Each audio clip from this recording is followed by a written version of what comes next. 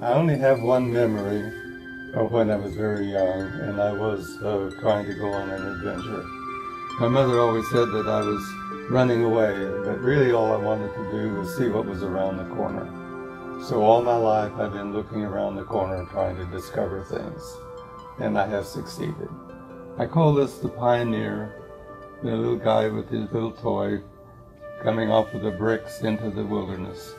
And it's the wilderness that has been my passion for all these years. The painting is 28 by 28 inches.